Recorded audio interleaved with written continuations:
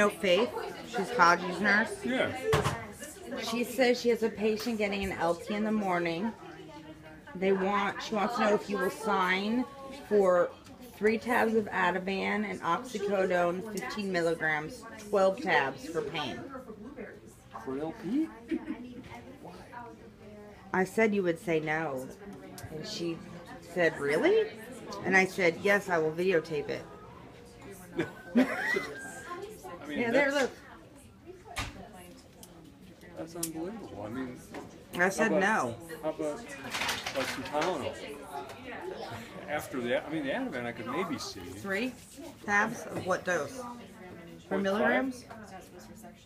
Point You don't five, not 12, 15 milligram oxycodone. No oxycodone.